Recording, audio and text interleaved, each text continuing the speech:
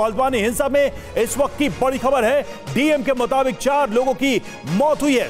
कई लोगों के घायल होने की भी खबर है। कई कल अवैध मदरसा गिराने के दौरान यह हिंसा हुई थी और इस हिंसा में अब जो सामने अपडेट आ रहा है, उसके मुताबिक चार लोगों की मौत हुई है। डीएम ने इस बात की जानकारी दी है। तो ये तस्वीरें आप देखिए, हल्द्वानी में किस तरह से हिंसा हुई और उसके बाद हालात यहाँ पर बिगड़ते चले गए। गाड़ियों में ज़बरदस्त तोड़फोड़, आगजनी की तस्वीरें, फायरिंग भी हुई और इस हिंसा में अब तक जो जानकारी मिल रही है, चार लोगों की मौत हुई है और एक सौ उनतालीस लोगों के घायल होने की भी खबर सामने आ रही है।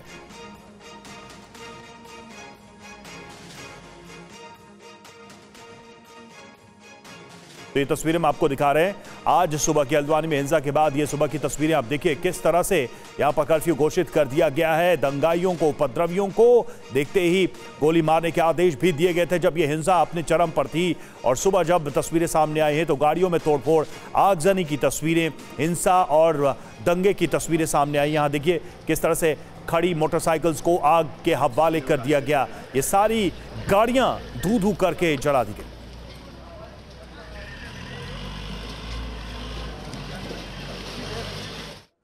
और इस हिंसा में कई पुलिसकर्मी भी घायल हुए हैं। पुलिसकर्मियों को गलियों में घेर लिया गया, जहाँ उन पर पत्थरबाजी हुई। कड़ी मशक्कत के बाद उन्हें बाहर निकाला गया। चार तस्वीरें हम आपको दिखाने जा रहे हैं। सबसे पहले तीन एकड़ में बने अवैध मदरसे पर नगर निगम ने ध्वस्तीकरण की कार्रवाई की, जिसके बाद जमकर पत्थरबाजी हुई और हिंसा शुरू हो गई ये चार तस्वीरें आप देखिए अवैध निर्माण को बुलडोज करने की कोशिश शुरू हुई, फिर बनबलपुरा में भी गलियों में पत्थरबाजी शुरू हो गई पुलिस कर्मियों पर पत्थर बरसाए गए, उन्हें गलियों में घेरा गया। पूरे इलाके में अग्नि तांडव किया गया, यानी गाड़ियों में, घरों में, दुकानों में आग लगाई गई। और हिंसा के बाद टीवी नाइन रिपोर्टर भी ग्राउंड ज़ीरो पर पहुँचे। हिंसा से के एक एक सबूत टीवी नाइन आपको दिखा रहा है। बन भूल भूलपुरा में जिस थाने से हिंसा शुरू हुई, वहाँ से आपको संवाददाता अभिजीत ठाकुर की यह रिपोर्ट दिखाते हैं। हल्द्वानी के बनभूलपुरा में लगातार हालात तनावपूर्ण बने हुए हैं और इस वक्त हम बनभूलपुरा थाने के उस जगह पर मौजूद हैं, जहाँ पर सबसे पहले हिंसा और आगजनी शुरू हुई। जी हाँ, आप तस्वीरें यहाँ पर देख लीजिए, तमाम गाड़ियाँ आपको जली हुई दिखाई देंगी और ये सुबह सुबह की तस्वीर हम आपको दिखा रहे हैं, किस तरीके से उपद्रवियों ने यहाँ पर हिंसा की और आगजनी की है उसकी बानगी ये तस्वीरें ही देती हैं। गाड़ियों को पलटा गया, उसके बाद उसमें आग लगा दी गई। आप देख सकते हैं, तमाम गाड़ियाँ यहाँ पर हैं, जिन्हें आग के हवाले कर दिया गया। थाने की तस्वीरें आप दिखाइए यहाँ पर।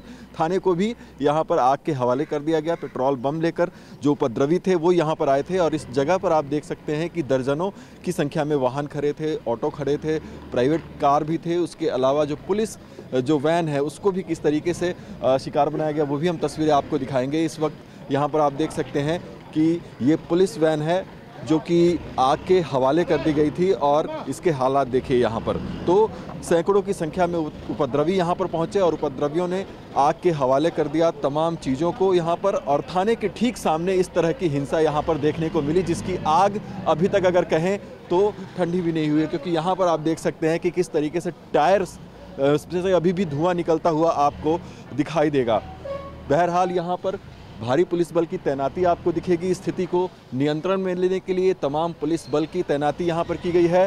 पूरे इलाके में कर्फ्यू लगा दिया गया है, लेकिन हालात लगातार यहाँ पर तनावपूर्ण बने हुए हैं। पुलिस की तरफ़ से लगातार घोषणा की जा रही है कि लोग अपने घर से ना निकले कर्फ्यू का पालन करें और स्थिति को सुरक्षित करने की पुलिस यहाँ पर तमाम कोशिशें कर रही है। लेकिन कल जब यहाँ पर हिंसा भड़की तो सैकड़ों की संख्या में उस समय भी पुलिस बल तैनात थी, लेकिन उन्हें पीछे हटना पड़ा। उपद्रवियों के तांडव के बाद। हमारे साथ हमारे सहयोगी भी इस वक्त जुड़ चुके हैं। अभिजीत ठाकुर हैं, बनभूलपुरा थाने से और पुनित शर्मा हमारे साथ जुड़े हुए हैं वहीं से घटनास्थल से। सबसे पहले अभिजीत के पास चलेंगे। अभिजीत, अभी तक की कार्रवाई की बात करें क्योंकि कर्फ्यू लगा दिया गया, शूट एट साइट का ऑर्डर दे दिया गया। पुलिस की भारी यहाँ पर तैनाती की गई है, लेकिन इस मामले में गिरफ्तारियाँ क्या हुई हैं? कौन लोग हैं जो मुख्य इसमें साजिशकर्ता सामने नज़र आ रहे हैं? क्या एक्शन हुआ है अभी तक पुलिस और प्रशासन की तरफ़ से?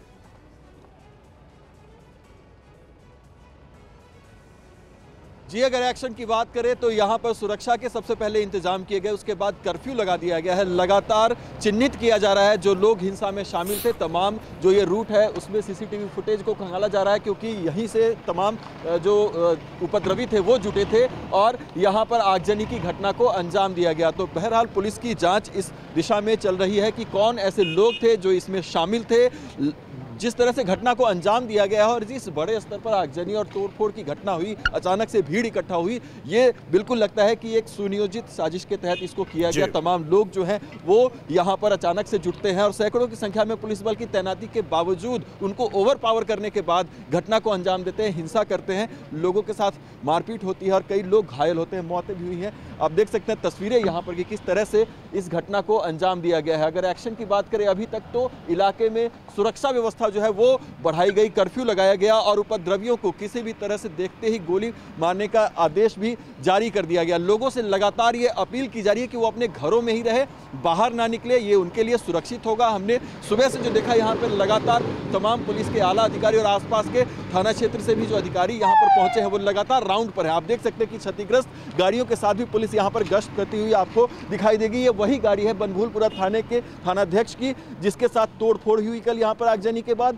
लेकिन बावजूद इसके इन तमाम अधिकारियों को जो है वो लगातार इलाके में राउंड लगा रहे हैं और वो देख रहे हैं कि स्थिति बिल्कुल आप जहाँ पर मौजूद हैं वहाँ की तस्वीरें बता रही कि हिंसा का स्तर यहाँ पर क्या रहा है। लौटेंगे आपके पास हमारे साथ हमारे सहयोगी पुनीत भी थोड़ी देर में जुड़ेंगे उनसे भी हम ज़्यादा जानकारी लेंगे। और देखिए हल्द्वानी हिंसा के बाद सीएम की शांति अपील अफसरों को कानून व्यवस्था बनाने के निर्देश दिए गए हैं। अराजक तत्वों के खिलाफ कार्रवाई का भी आदेश दिया गया है। हिंसा की खबर आते ही आवास पर समीक्षा बैठक की गई। दंगाइयों को देखते ही गोली मारने के आदेश दिए गए हैं।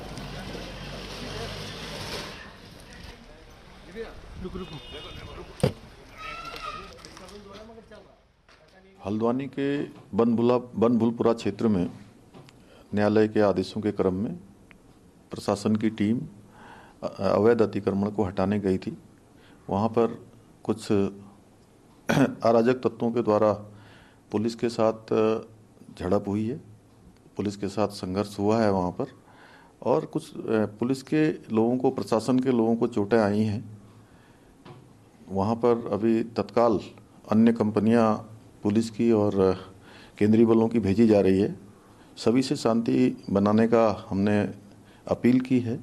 कर्फ्यू लगा दिया गया है।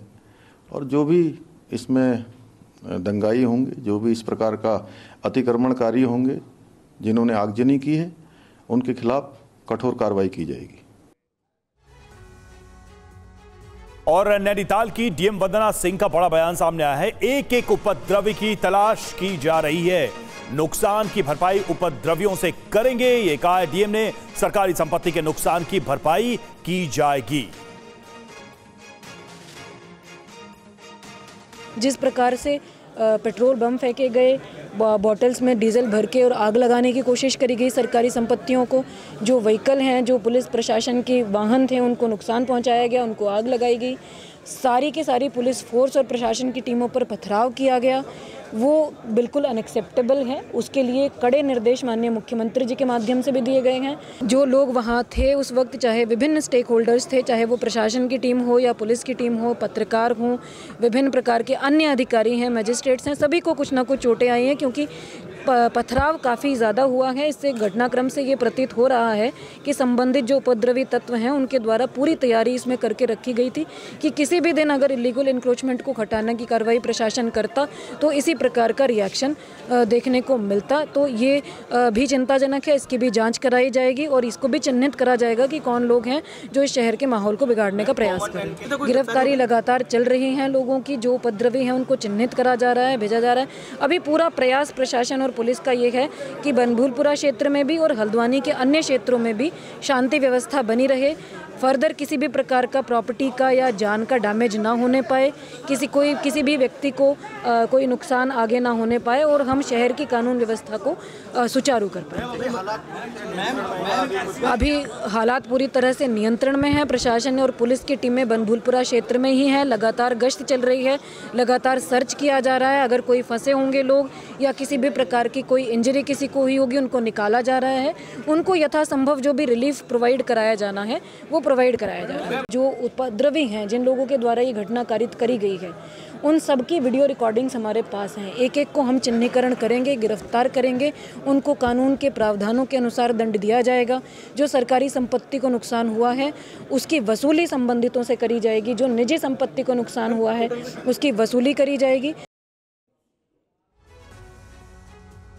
और हल्द्वानी में उपद्रव के दौरान पुलिसकर्मियों की गाड़ियों में आग लगाई गई। पुलिसकर्मियों का साथियों से संपर्क टूट गया। इंटरनेट बंद होने की वजह से एक दूसरे से संपर्क नहीं कर पाए। मदद के लिए नजदीकी जिलों से गई फोर्स ने मोर्चा संभाला।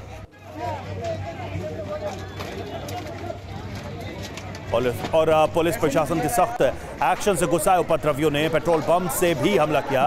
तस्वीरें आपको हम दिखा रहे हैं, किस तरह से ये हमले किए गए पेट्रोल पंप से। ये देखिए, किस तरह से आगजनी की गई।